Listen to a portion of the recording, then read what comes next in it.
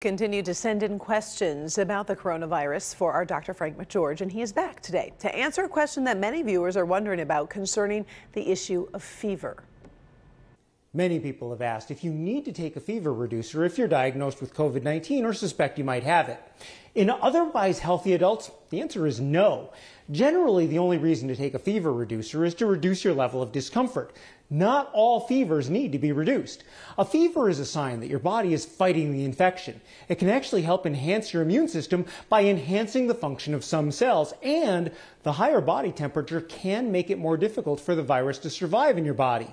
But there is a point where treating the fever is probably a good idea, generally around 101 or 102 degrees.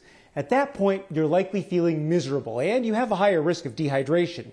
At that point, taking a fever reducer makes good sense.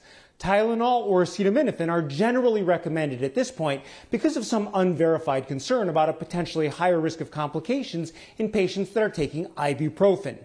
If you have other medical problems that would make a fever more serious for you, then the advice would be different and you should check with your doctor.